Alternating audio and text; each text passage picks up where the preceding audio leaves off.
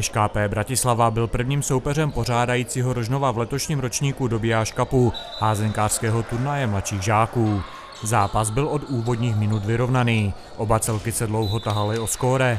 Až ke konci této první půle se dostala Bratislava do vedení. Rožnovu se nepodařilo dvoubrankový náskok hostu dotáhnout a poločas prohrál 8-10. Podobný průběh měla i druhá půle. Hosté sice vedli, ale domácí mladší žáci se dotáhli a zápas nakonec skončil remízou 16-16. Dalším utkání ve své tříčlené skupině pak porazili Polanku nad Odrou a postoupili mezi osm nejlepších týmů. Tady v boji o semifinále podlehli Přerovské žeravici 16-19 a čekal je zápas o pátou příčku. V něm nastoupili proti dalšímu ze čtyř slovenských výběrů po Vážské Bystrici. Rožnov byl od začátku lepší. V poločase vedl už 8-2 a nakonec vyhrál 13-6 a skončil pátý.